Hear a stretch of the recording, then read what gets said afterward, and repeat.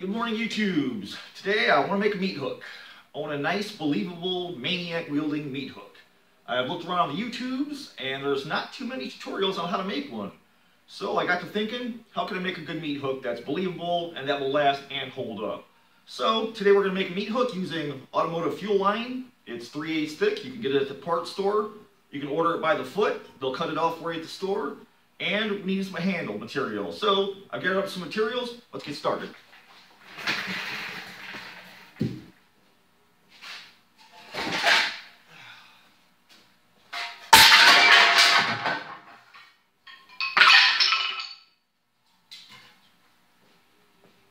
Alrighty, now we're in business.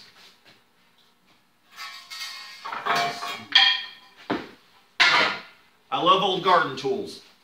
The handles are gray, uh, old shovels, old rakes, uh, wheelbarrow handles, they're a gold mine. The wood's already gray and old and nasty, and we can make it older. So I'm gonna find a nice section chunk of wood. I'm gonna need about my hand's width, plus an inch on either side. We'll cut us a handle out of one of these uh, pieces, and then we'll get started.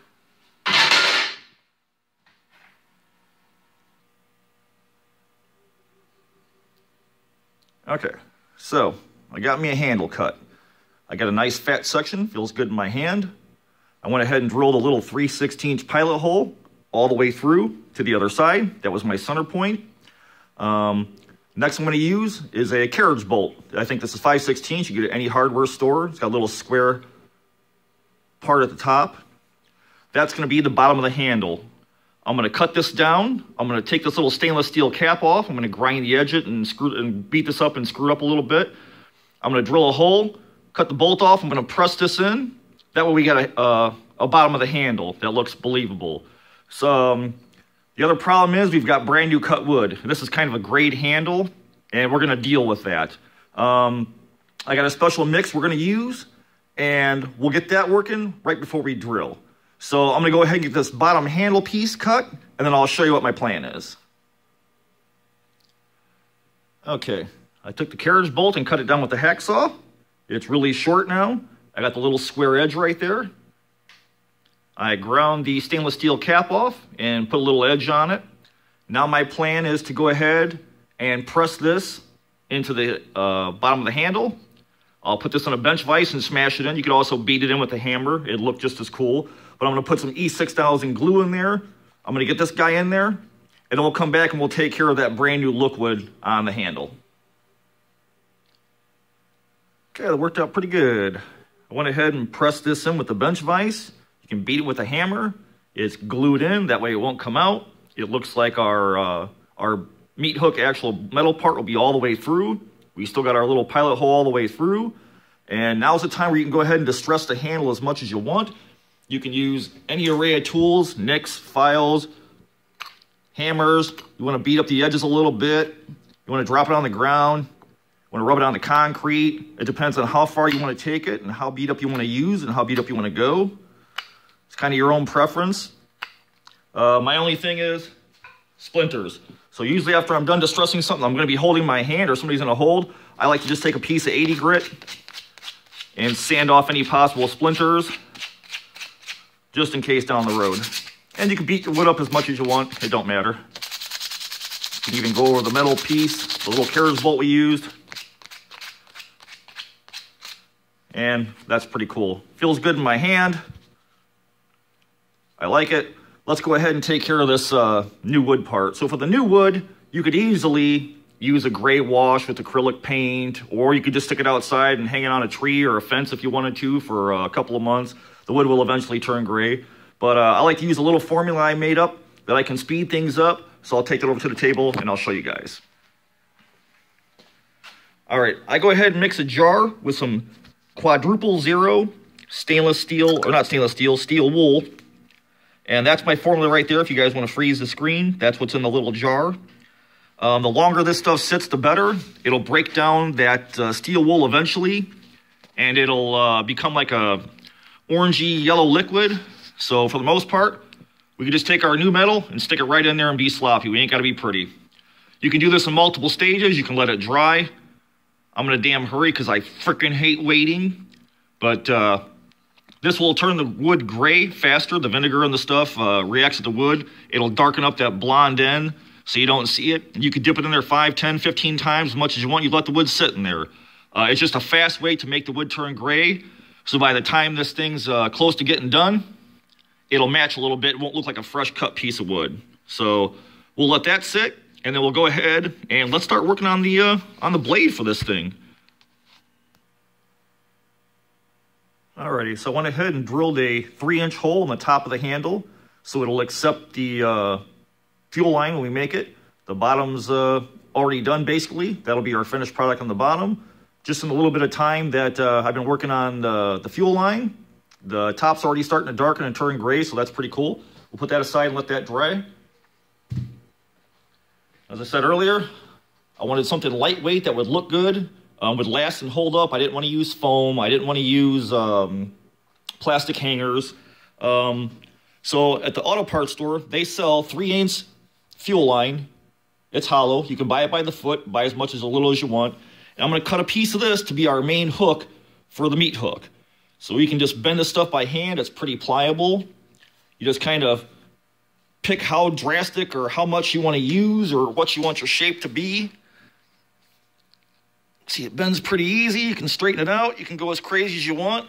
So I'm going to go ahead and bend up a piece off camera, get the hook I want, and then uh, we'll come back and get some attaching points on that thing. Okay, I got my meat hook all cut. I'm pretty happy with it. I just bent it against the wall. I cut the end down, sanded off the little burrs so I wouldn't stab myself. It fits in the handle pretty good. I'm pretty happy with that. It's a nice beefy meat hook. So, how do you attach it? You got a couple thoughts.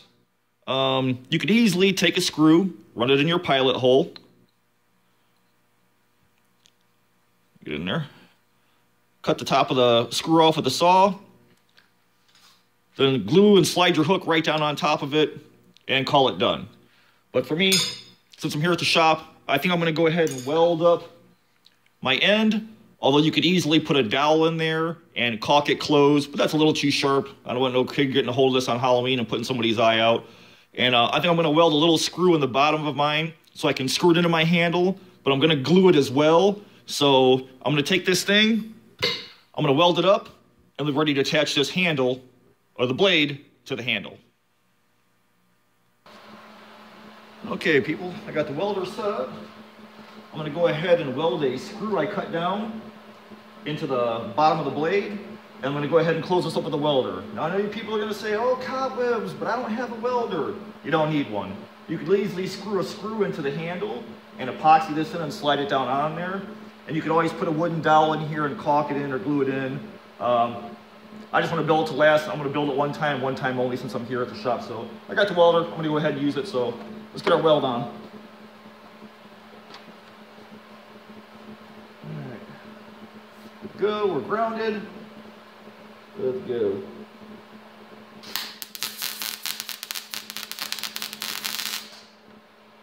More gas.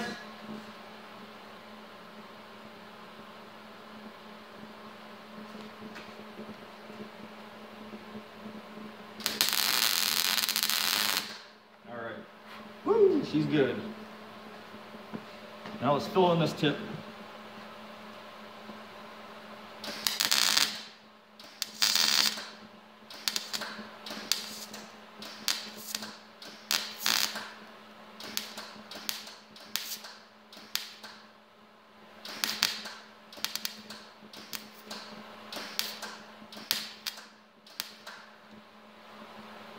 I'm gonna go ahead and stick a rod in the middle of this to help fill this hole, and then I'll be back. All right, I got a little bit of rod poked down on the tip. Let's go ahead and give her hell and finish this up.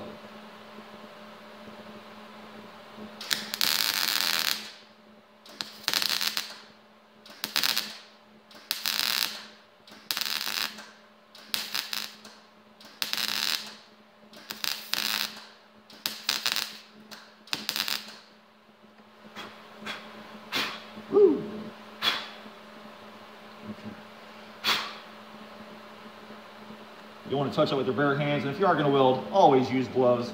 And I have an auto darkening helmet, so I'm good. A little more.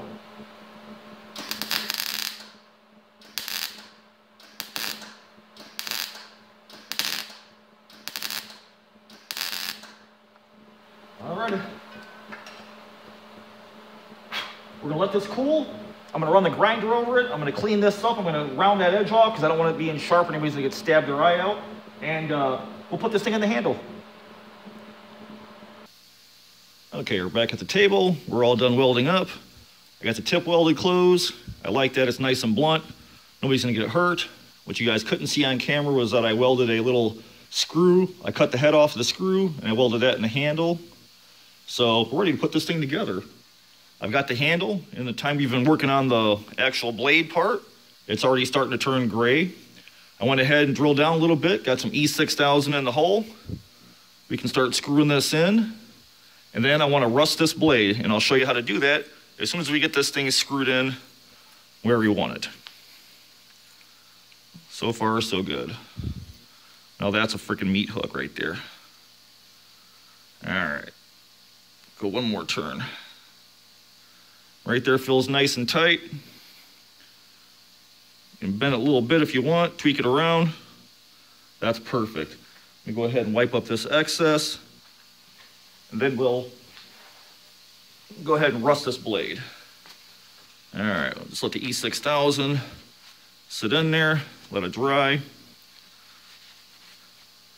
But I'm pretty happy with that. That feels nice and beefy. That's a good meat hook. That's something you chase college students around with. All right. I'm happy. Let's go ahead and grind on this blade and sand this blade. We want to rough it up and get this coating off so that we can go ahead and rust it. I'll get my little grinder. All right. Hit it in some spaces.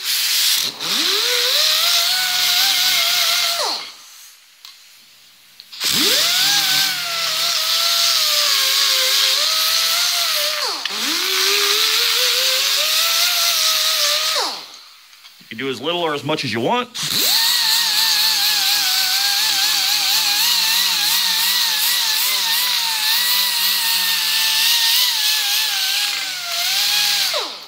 And again, doesn't have to be all power tools. Good old 80 grit sandpaper. Put some nice scratches in. Sand that blade down some.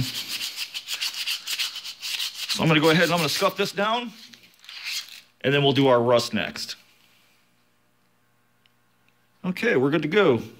We got the whole blade scratched up. I went ahead and sanded it with sandpaper and some files and a little mini grinder.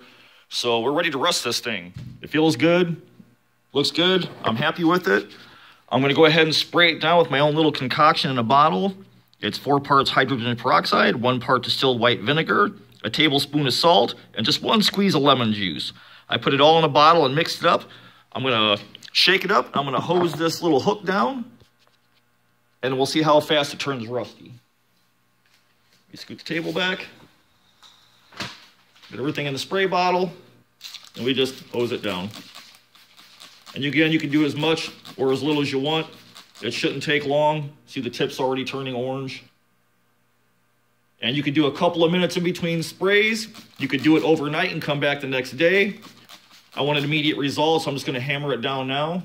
So I'm gonna let this sit for a second, then we'll come back and take a look at what it looks like. Alrighty, so it's been about 15 minutes or so. I've been kind of hosing this down with uh, my little rust formula, and look at that, it's already starting to take. I mean, that already looks authentic, like it's been sitting in an old barn or an old field or an old slaughterhouse somewhere for a couple of years. I went ahead and rusted the little end, the little uh, uh, carriage bolt I stuck in there as a fake is a fake anchor point for the whole blade. Um, but I'm loving that, man. I mean, that's it's lightweight. It's old gardening tools. It's a $2 piece of uh, fuel line. And you got a believable meat hook. I mean, some Texas Chainsaw Massacre shit right there. I've got one last little trick I'd like to show you guys. Um, mine, I don't know if I'm going to clear coat. I think I'm going to let it get rustier before I clear coat it and lock all this rust down. Um, I'm going to hit it one more time with my little super solution. The longer you leave it on there, and this is real rust, this isn't fake, this is real rust. You can clear coat it at any time you want to stop. That's your choice. But my last little secret weapon for these guys at the dollar store, paprika and cayenne pepper. This stuff immediately makes rust, uh, gives you the scale part if you want the really heavy rusted uh, effect. It's kind of up to you how far you want to go. So basically, we've got our meat hook. See, it already left a little rusty print. Got our meat hook kind of hosed down and wet. Come back with our little cayenne pepper. What's this one? Oh, this is the paprika. Little paprika. Spray down there generously. Tap. Boom. Now it's really crusty and rusty. You can't beat that for $2 in paprika and ground pepper. You could do a lot of panels of those little bottles for a dollar a piece. So that's it, folks. That's my rusty meat hook. I hope you like it. Uh, if you want, you can throw some fake blood on there. You're ready to chase kids around for Halloween and keep them out of your damn yard. I hope you enjoy it. I hope you build one yourself. Hell, send me pics on, uh, on uh, Facebook. But that's my rusty meat hook. Hope you guys enjoyed it. I will see you guys in the next one. Thanks so much for watching.